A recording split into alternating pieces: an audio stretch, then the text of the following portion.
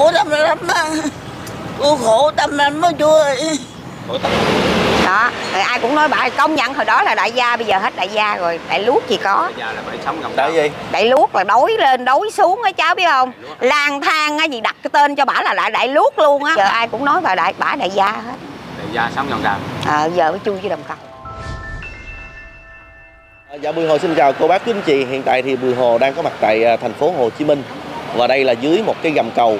Dưới gầm cầu này có một ừm, người cô mà cô mọi người cho rằng á cô này trước đây cuộc sống ờ, rất là giàu sang và sau này vì một cái biến cố gia đình mà cô phải chọn cuộc sống ở dưới này.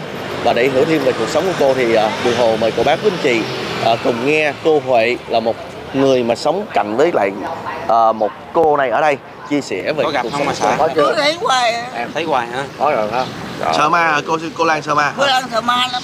Cô Lan sợ ma nên treo cái bản ờ, cái tượng mẹ Bồ Tát. bức tượng của ta để tôi ngủ đi yên tâm. Ờ, ngủ đi yên tâm đó chú nhà. Ở nhà thôi. Ở nhà có nước này nọ rồi cho mẹ mẹ tôi mẹ tôi chết rồi chú ơi. Mẹ tôi chết bảy bà chín mươi bảy tuổi. Mẹ tôi chết chín mươi bảy tuổi. Bún nè má bún nè. Ăn bún nè hả? Ông bún ra cá nè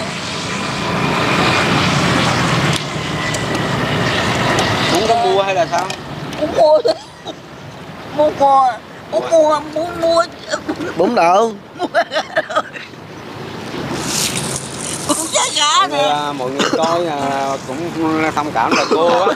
Là cô bị à, tai biến và rối loạn ngôn ngữ rồi cứ cười loạn. thôi. À cười biết vậy đó Mặc dù là sống ở gầm cầu nhưng vẫn cười. rất là lạc quan. Khổ tâm lắm á. Cô khổ tâm lắm chú ơi khổ tâm gì vấn đề gì chân rồi đói chân này đói chân này đói chú ơi tôi sợ đó à, Đói. đói tôi sợ đói lắm chú ơi. Dạ. nhưng bây giờ lớn tuổi về đâu có ăn được nhiêu nữa đâu mà sợ đói.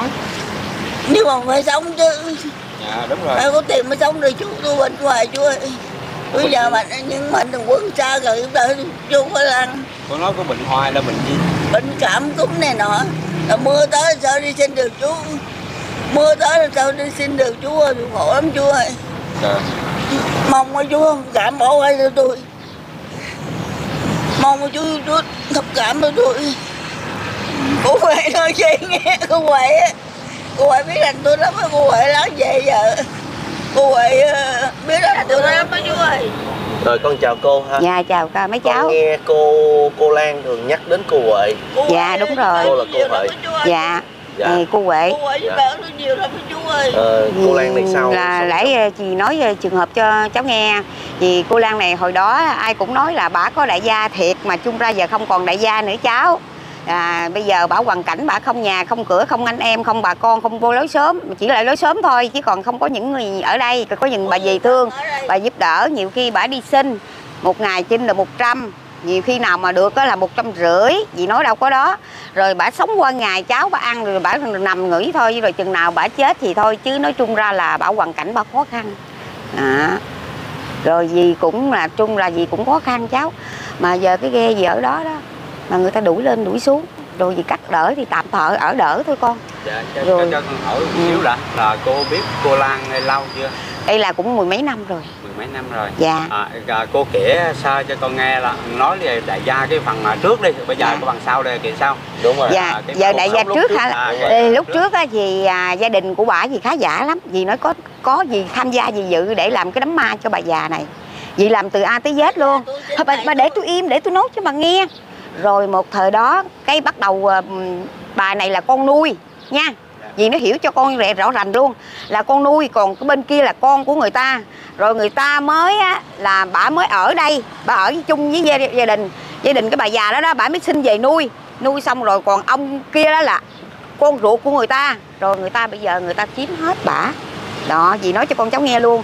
Rồi sau này á, rồi mướn xã hội đen đồ làm bãi văn tin hết luôn. Rồi bắt đầu cái đám ma vừa xong xuôi rồi đưa ra xong xuôi có gì gì có tham gia luôn rồi mới đưa ra là bả là coi nhà không cửa không anh em không bà con lối xóm hiện giờ cái nhà chồng con đi gì quay Có cho nghĩa là con cuộc sống trước đây cô Lan là mẹ của cô Lan còn sống và cô Lan là đại gia. đúng rồi Ồ, vậy là mẹ khá giả lắm. dạ rồi chết rồi xong là bắt đầu anh em giật lấy hết à, cái đó. câu chuyện là nó vậy đó Ờ. Bây giờ đó đó bây giờ người ta mới bỏ. nói là đại gia bữa hổm nghe nói hôn gì đại gia gì nó trời ơi gì cổ chết mẹ mà đại gia gì nhưng mà cuộc sống trước đây của Ừ. cô Lan thì chồng con như thế nào cô Thùy chết hết rồi bà rồi ông đó nói chung ra là ổng cũng bị bệnh đái đường rồi ổng mới bỏ bà này đi luôn. Tiểu đường tiểu đường. rồi bỏ đi luôn. Đó rồi bà này bây giờ là tay biến cháu. Gì không biết tay biến. Rồi bà đi xin thường ngày bà ăn vậy đó cháu. Đó chứ không có gì hết trơn có người bao lâu rồi? Bị tai biến bao lâu này là cũng lâu rồi cháu. Bà lâu rồi. Bà nhiều khi bà ngồi bà thầm tệ bà cười cái bà té đái quần mấy thằng kia bà chụp bà cũng té đái quần đó Ờ, à, vậy là cô Lan là có một cái quá khứ vàng son rồi. Rồi thì dạ. cô có thể kể những lúc ngày xưa thì ờ, cô Lan sống như thế nào? Vì cô Lan có bà nhà bà già bà nhà bà giờ bà nhờ nhờ bà. Hồi đó bà còn làm được cái ra tiền đó con. Rồi bà này ở nhà chỉ quét dọn dẹp trong gia đình rồi nấu cơm nấu nước rồi hầu hạ bà đó rồi chừng bà đó bà chết rồi là coi như là không còn những gì nữa hết là con trai của bà lấy lại. Đó. Vì nói chung ra. Nhà hai căn nhà. Hai căn à? là chỉ làm công việc nhà. Ừ. à, không có làm gì hết. Ừ ăn ở nhà thôi. Nhưng mà rồi à, hai vợ chồng cô Lan rồi có con cái? Không không có con rồi. Ông đó ổng buồn quá đó. Ổng thấy ờ, bắt nạn đó. Cái ổng bỏ bả đó. Rồi đi về ổng có có đợt có một đợt vợ nữa. Rồi bỏ bả rồi bỏ bả mới về quê luôn sống đó rồi bả mới ra đây này cháu. Rồi coi như là nhà bây giờ người ta mấy thằng đó lấy hết trơn rồi không còn những gì hết thì coi như bả là giải tay. Đó rồi ai cũng nói bả công nhận hồi đó là đại gia bây giờ hết đại gia rồi đại luốc gì có. Bây giờ là gì? Đại luốc là đối lên đối xuống á cháu biết không? Lang thang á gì đặt cái tên cho bả là lại đại luốc luôn á thẳng luôn á. Đại bả luốc bả đi kiếm bả ăn rồi có thì bả ăn còn không có gì thôi dì nói thẳng luôn chừng chết đây phủi tay cắt bụi thành cắt bụi thôi bà dì nói nhuyễn người thương giúp bả đó dì cũng giúp bả đó dì mà thấy ông ta cũng đi lụm đi làm mướn đi cắt thứ hết á dì cũng đi lụm dây chai con. Mà dì khổ còn hơn nữa bả nữa bả bả còn gì được mảnh ngon á chứ hồi đó dì xin lỗi con nha. Nằm dưới đất này nè con. Nằm dưới này luôn. Ờ bà dì đó hồi đó đó bà dì còn khổ hơn bả đó con bả gì là bả diễm phúc lắm rồi đó. Dì thương cho đó chứ hồi đó là con gì mày thấy tao mày thương tội nghiệp gì đẻ mà tao nói mày tao nằm dưới này mà người này đi qua người kia đi lại mà gì hồi đó cầu á con biết không dở lâu lắm rồi. Lũng lên lũng xuống nè rồi cát đất bụi đồ không à. Đó mà dì gán giờ dì mới được gì đó con. Đó, dì nói thẳng. Nhưng mà- à, rồi à, à, sống ở đây là cô Lan sống bao lâu rồi?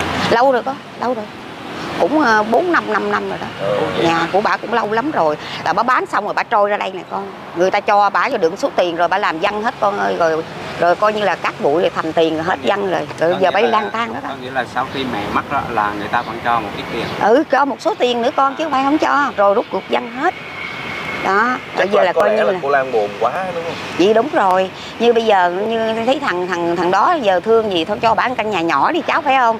Rồi một căn nhà là bà thằng kia căn nhà lớn đi thì cũng được đi rồi sống qua ngày sống đi. À, bà này nói chung ra là bà đòi hết chứ bà không muốn đòi để cho hai căn.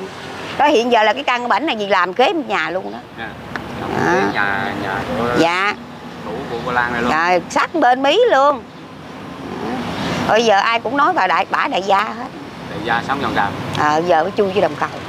Chưa vòng đào sống ờ ban đầu tưởng gì chứ đâu phải gì đâu gì cổ con ơi gì lang thang ngoài đường không mà con ơi. Cái việc mà sinh Ừ. hoạt của ờ, cô Lan này như thế nào?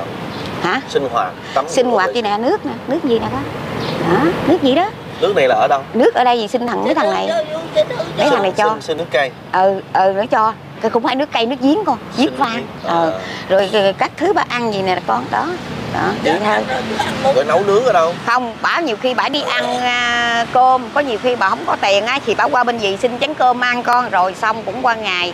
Hôm nay bả à, nghỉ bả mỏi quá bả nghỉ chứ không là cũng giờ là chưa có về. À, bả đi xin con. Bả đi tùm lum hết á. Thành phố cát vườn chuối vườn rà gì bả đi tùm lum hết rồi bả xin. Bả xin nói chung ra là ngày có bữa trường nào mà đắt lắm là được một trăm rưỡi. Còn cái nào mà ế lắm là một trăm. Có bữa là sáu chục. Đó ở dưới gầm Ừ. cầu này mà nếu như mà có nhiều tiền thì cũng khá nguy hiểm không phải đơn giản đâu. Không không con. Vậy chứ không có gì hết không có gì hết bình thường. Không có gì hết. Bà đi vậy chứ không ai mà ngó bà đâu. Bình thường chắc. Sao, Sao à? Rồi tắm rửa ở đâu ta? Đây nè bà lao còn con nè. Cái thao này bà lao rồi lấy dắt vô. Dắt vô rồi bà bà lao sơ mình mẩy rồi bà thay thôi con. Đó. chứ không có tắm Ừ. ha không bà chỉ lau mình thôi. Ừ, bà này chắc bà thiếu xì ke con ơi. Bà không có lao tắm rửa. Ừ. đó. Ừ. vậy đó ha rồi vệ sinh. Vệ sinh gì báo đá chỗ đó đó con. Ờ, rồi đi nặng ở đâu? Nhưng nếu thí dụ mắc ỉa quá vậy bà kiếm chỗ bà ỉa ngoài đó đó xong rồi mấy ừ, chó hai con gì nó ăn hết trơn con con queo à. Đó. coi như là phiêu lưu con ơi giặt bạc giang hồ gì bà này còn sướng hồi đó gì nói xin lỗi con con thấy mà thấy thương gì nằm ở mập cỏ không đó. Bây giờ gì được như vậy là con gì mừng lắm rồi đó con. Gì nói thẳng mà giờ nó còn đoán đuổi gì nó gì khổ ghê có cái ghe kìa. Cái ghe chìm lên chìm xuống đó con rồi gì khóc lên khóc xuống. cái, cái, cái nhà tròi phía sau đó là của cô. Ờ gì mà con là mà hỏi là ờ, trước đây cô Lan còn khá giả thì cô Lan có thường qua lại với cô không? Mà tại sao cô giúp cô Lan?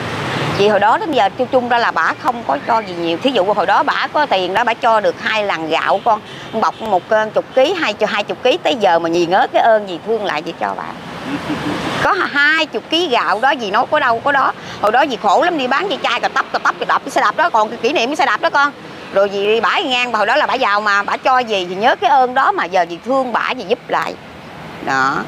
Dĩ nhiên là mấy thằng lưu tước nó nói công nhận hộ chị gì rồi quệ tội thiệt Hắn lẽ thương bà đó. Có nghĩa là hai chục cái gạo đó mà nhớ thương luôn. Nhớ ơn đó Nhớ cái ơn của bà mà bà cho gì đó thì nên bây giờ gì? Thấy dù bà có, có chết đi nữa gì cũng nói rồi. Bà có chết đi nữa thì xin xin ở đây. Ở đây gì xin cho cái hàng để cho bà đưa đi. Thiêu đốt rồi xong rồi gì gửi vô chùa không gửi chùa gì bà nói muốn đập xuống sông chị gì đập. Đó. Vì nhớ cái ơn vậy thôi. Đó. Đó con thấy không? Nên mấy thằng lưu tước đó nó công nhận gì này tội thiệt. Đó. Tối tao còn qua bên đó tao dọn dẹp tao quét đài liệt sĩ xong rồi về về rồi có đi lượm chơi trai còn không đi lượm gì gì đi làm. Mấy gài người ta cho gì làm được cái con mừng ghê ngày được trăm. Đó rồi cũng gì quơ quơ làm giờ này mới về xong con trong nhà không biết là chồng của ờ, cô Lan này có biết cô Lan sống đây không? Có biết chứ con mà không xuống con. Không xuống nữa. Coi như là bây giờ ông không có cần bà này nữa. Người ta có vợ nữa con ta quê người ta ở dưới quê mà. Hồi nãy thì nghe cô nói là chồng cô chết rồi. Không. ra là Ê, có Sóc Trăng. ừ có bả có một đời ổng có một đời chồng rồi con à, có một đời vợ rồi. Rồi bà này thương đó. Rồi đám cưới cũng đàng hoàng lắm hồi đó là đại gia. Đó nói chung là là gì nói là đại gia đúng thiệt luôn ai ở đây ai cũng biết hết. Sau này coi như là giờ bà không đại gia nữa. Đó coi như là giờ bả gì à đó, ở gầm cầu đại gia đại gia mà sống đồng cầu ờ đó nên người ta nói đó con ơi gì mới hỏi ủa sao mà mấy người đó nó nói kỳ vậy ta? Để tôi phải nói rõ ràng cái này là ra cái nấy bà gì nói đúng thiệt. Bây giờ nhà con cô Lan gần đây không? Gàn sát mi con mới vô muốn vô tôi cho chụp. Dạ thôi được. Ờ đó cái nhà con vô con nhìn đã lắm. Cái nhà đâu phải ấy đâu. Mà bà này bả bà này bả tỷ. trăm tỷ. ồ. Ừ, đó nó hai căn. Hai căn luôn á con. Bây giờ tỷ hai căn ồ lần biết biết gì đó hả? Dạ thằng bố hỏi mới vô chụp thấy đó nhà bự quá cô huệ ơi. Trời ơi đó để tôi nói cho mấy chú thấy chứ đâu phải đâu. Đó mà bà mà là bà này bả bà ngu quá con ơi. Dù người ta có nói gì nữa mình cũng nói xuống ngọt đi. Bây giờ bà cũng vẫn có được căn nhà ở con phải không? Có trời mưa trời nắng. Hay là tấp mưa tấp nắng cũng đỡ. Cái này giờ con thấy không? Bả bơ vơ mình bả không có ai giúp đỡ có như có gì gì thương gì lẫn lộn qua đời với bả rồi bả đi sinh thì có bả ăn còn không sinh thì bả bệnh thì có cũng khổ. Con thấy không bả bệnh hồi đó tới giờ. Nhưng mà con nuôi là sao? Con nuôi có nghĩa là con nuôi từ nhỏ hay là con nuôi từ từ từ từ nhỏ luôn. Lúc thằng nào nhỏ lớn lọt lòng mới ra sinh bả sinh bả là người bắc. À. bà già đó là bà người bắc. Rồi bà này bà này bà muốn thích đứa một gái. Nhá gì nói cho cháu nghe. Rồi ông này ông nói thôi giờ bà muốn sinh gì sinh chứ bà không có con gì thôi vậy tôi bà đi sinh đi rồi về nuôi nuôi từ lớn lên tới bây giờ là bà này chung với bà là có giấy tờ đàng Vậy là hoàng luôn. mẹ nuôi là người Bắc ờ, sinh bà. cô này. À. mẹ bả đó. Chứ đâu phải con giàu lắm. Mà bây giờ không còn những gì hết nói tan là hết con nuôi thôi nhưng mà trên mặt giấy tờ thì con ruột rồi. Có con có có con ruột lấy theo họ có giấy tờ luôn mà có có. luôn có giấy tờ đàng hoàng hết mà sao tao không biết nghĩ như sao. có nghĩa là bên ờ, con ruột mới biết cô là con nuôi thì mới đuổi ra luôn ừ vậy đó khổ vậy đó con bây giờ coi như là không còn cái gì nữa. trắng tay luôn. Trắng nhưng mà tay. cô nói là có ga cho cũng nhiều tiền mà. Cho có có có rồi bả cũng làm văn hết trơn luôn con ơi. Rồi giờ coi như là cái tay cắt bụi thành cắt bụi. Nó cô biết nhiều tiền không? Dạ thì hồi đó giờ ở đây gì biết có biết chính mà xác số tiền nhiêu không? có tiền hồi đó cho nhiêu quên mẹ nữa cho bà nhiêu tôi nhớ coi. Nhiêu. Một trăm triệu một trăm triệu với cho bả ờ, bà già chết khúc chết đó là cho bả được ờ, một mớ tiền nữa rồi bả nghe lời người ta đó con. Đưa cho người ta ăn người ta giờ làm ờ, cái gì để ờ, tám cây vàng cc đồ luôn. Đâu công nhận là tôi nói là giàu thiệt chứ không phải không giàu rồi. Bây giờ bà không còn những gì hết. 100 triệu với lại 8 cây vàng nữa. Ờ đó. Mà bà con gì không biết bà đó là gì không biết bà làm gì dân Cô- hết luôn Cô làm gì hết trơn Tại gì mau vậy? Trời ơi Dạ. lên người ta nói bà chảnh chẹ đó con. Là, là cô này là người gia thiệt. Đó, thiệt. nó là tỉnh trẻ luôn đó. Bây giờ hết chảnh chẹ rồi coi như là không còn những gì hết các con ơi. Như là bây giờ cắt bụi thành cắt bụi thôi. Đó Cho rồi. 100 triệu với 8 cây vàng SCC ừ rồi bà làm dân hết Rồi cô bị tai biến này lâu chưa? lâu rồi. Lâu rồi con. Ba năm rồi đó con Có nghĩa là xài hết xong bị tai biến luôn. Ờ bị luôn rồi cái bắt đầu bà đi tàn phần phế luôn con rồi ra đây không có ai bơ dơ gì mới kêu bà ở đây thôi bà ở đây luôn đi. Thôi giờ chị em mình sống với nhau thì ở đây kệ mẹ nó tới đâu rồi tới. Đó rồi đó bây giờ là giường bọng gì cũng làm gì xin gì ấy cho bà đó hoàn cảnh gì cũng như bà bà cũng như gì thôi gì nghĩ gì thôi. Nhưng mà đúng là cuộc đời ha. Đó, Cô con nói thấy- nghĩ rằng là mình sẽ một ngày mình sẽ xuống gầm cầu mình sống đâu thấy không con thấy không tiệm vàng ta còn phải còn phải đi kẻ ăn mày đừng nói chi bà nghĩa địa bà này. Dì nói thẳng dì có chính thấy luôn mà dì đâu phải không thấy. Mà thôi giờ hoàn cảnh này đó vậy đó dì nói cho cháu biết. đó. Ngày Bà- xưa thì còn ờ, thời Hoàng Kim á thì ờ, rồi đi bả đi ờ bả đi chùa đi chiền đồ con có rồi thả cá phóng sanh đồ luôn. Dì có nói đâu có Lúc đó đó hết. là cô Lan làm việc thiện nhiều. Từ thiện đó. Ủa sao mà là À, bị giờ- khổ vậy? rồi giờ sao dì cũng không biết con cái đó là dì không biết. Cái kiếp của tôi vậy ừ, bà biết rồi giờ bà biết cái kiếp của bà khổ thì bà phải chịu thôi nói nhiều khi bà cũng té bà té lăn cù vậy đó Hết con phước thì nghiệp lại đến ha. Ừ, gì đó con đúng rồi con nói là đúng. Nhưng mà rồi à, ở đây rồi giặt giũ thì sao chứ được? Gì đây nè đó cái thao của bà nè con. Đó rồi bà phơi vậy đó rồi xong ngủ. Đó. Đúng là khổ ha. Nhưng mà từ ờ, cái ờ, lúc mà giàu sang mà xuống gầm cầu sống rồi phải nói là áp lực kinh khủng lắm chứ. Trời ơi bà khùng đó hồi đó bà khùng luôn đó con nhờ gì nói quá đó chứ không là bà khùng rồi đó con à. Bà khùng luôn đó bà cười kha kha kha rồi bà ngồi bà giải lưỡng tay gì bà nằm nằm chỗ nào bà cũng nằm được hết á. Công an nói bà cỡ nào bà cũng không có sợ đâu. Vì nó vì biết mà vì hiểu bà mà rồi lúc ở cái giai đoạn đầu của bà đó là lúc cái nhà cửa bà xong hết rồi người ta lấy hết rồi đó. Rồi rồi, rồi, rồi đuổi bà ra đó rồi ờ, thờ bàn thờ đó luyện ra hết giờ ngoài đó luôn rồi. Tôi nói mấy người xã hội đen đó con. Rồi bây giờ coi như là hết luôn coi như là bà không còn những gì hết. Chính là gì có tham gia gì làm cái đám ma đó xong xuôi gì rỡi hổng cốt vô trong đó luôn mà.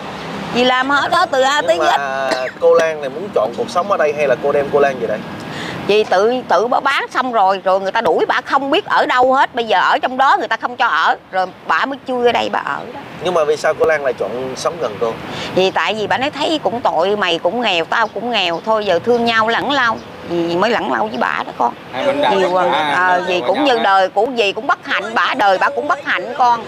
Đó bây giờ gì cũng như nè đây này giờ bỏ lại đứa con đó dâu nó bỏ lại đó gì cũng bất hạnh đó con. Nên gì đâu có nói ai được đâu con nhìn ngó xuống thôi chứ đâu có dám ngó lên đâu con. Người ta ngó lên thì ta có tiền còn mình ngó xuống mình đi lụm đi con. Hay hơn nên nó chiều lần nào gì cũng đi lụm hay là gì kiếm đồ gì kiếm sống qua ngày con. Đó rồi bà này thì chung ra rồi sáng bà đi rồi rồi gì cũng bay luôn rồi chứ đâu có nhà đâu con đến chờ này tầm này gì mới lại mới về. Nếu như mà bình thường thì cô Lan trong cái suy nghĩ của mà mình là cô Lan chưa bao giờ nghĩ mình một ngày mình sẽ xuống đây. Ờ bà không Là xuống đâu. là khùng luôn?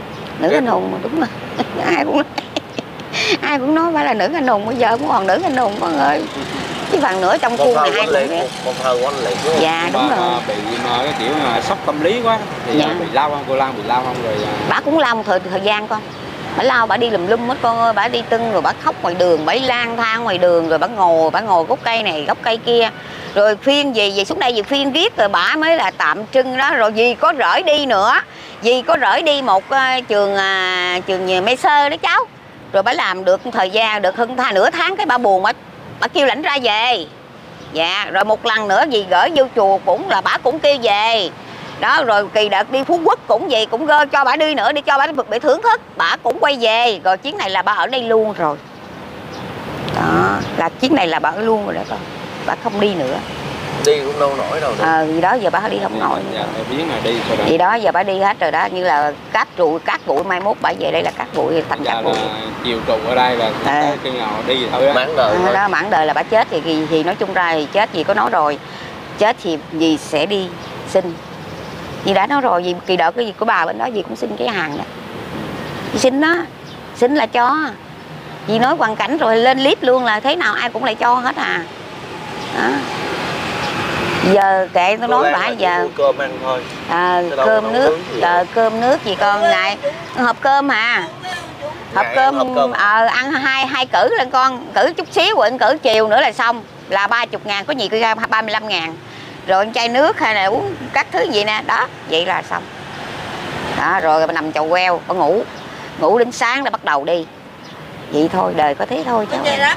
chú Ngày xưa là đi thì có có người đưa người đón có người đưa người đón. Đón À, bây giờ à, còn giờ không ai đưa hơi đón đâu giờ mình có tiền thì người ta đón mình còn không có tiền người ta coi ghẻ lắm cháu ơi gì biết hoàn cảnh khổ gì biết chứ không ai không biết đâu vậy là cô đúc kết được Ừ. cuộc sống nhiều quá hơn. hả Cô đúc kết được nhiều. ờ thì đó cô giờ cô cũng nói thôi kệ gắng cố gắng lên đi Nhưng mà rồi qua qua cô là qua cái câu chuyện của cô Lan cô chứng kiến là cô Lan lúc còn giàu sang thì kẻ đón người đưa nè. đúng rồi. Bây giờ như như thế này thì đâu có ai ấy đâu nhưng mà tự nhiên thấy cô may mắn hơn cô Lan nữa. ờ. Tại vì đôi khi cô Lan bị sốc tâm lý rồi bị sang chấn tâm lý thậm chí là đôi khi bị stress luôn. Còn cuộc sống của cô thì nó lại bình dị hơn đúng không? Ừ. Mà cô thì lang thang ngoài đường cô đi lụm này lụm kia rồi về sống qua ngày con. Cô cứ nghĩ vậy thôi. Còn người ta có nhà có cửa còn mình đâu có nhà cửa con. Đó vì ở đây cũng mới lâu lắm rồi đó con ơi. Cái ghe gì như là trôi thủng luôn vậy đó người ai cũng giúp đỡ. Đó. Có nhiều khi người ta đi ngang người ta thương á, người ta cũng giúp đỡ. Đó.